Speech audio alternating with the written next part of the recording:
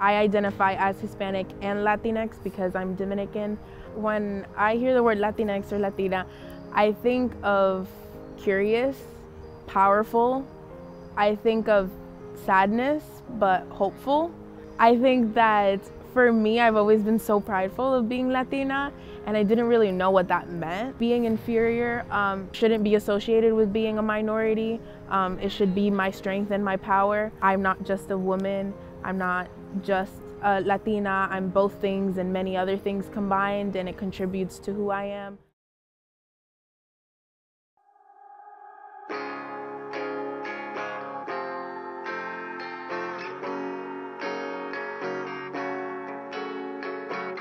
You're looking skinny, here's baby head. Where have you gone out of bed? Have you gone out of bed? Getting concerned about my lonely friend. Have you seen yourself today? You're gonna need a haircut and a shave.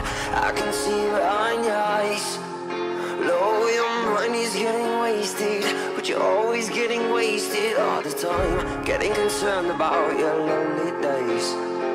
You're doing some more drugs You're getting caught in your drug face Have you heard the news that you're on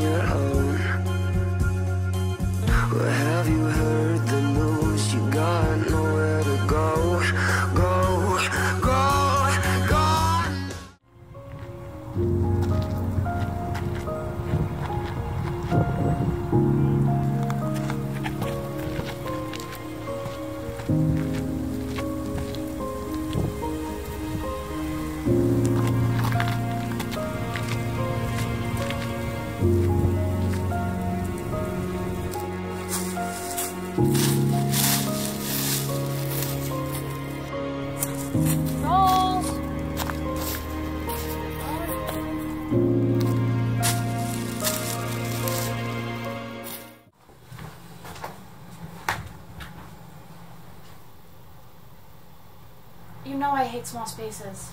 No, yeah, my anxiety gets really bad when I feel claustrophobic. But the boys will be all over you in this. Lily, I mean it, I'm not going. Oh, shush, you're coming.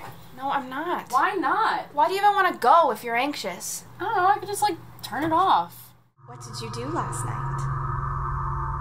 Nothing. Nothing? I said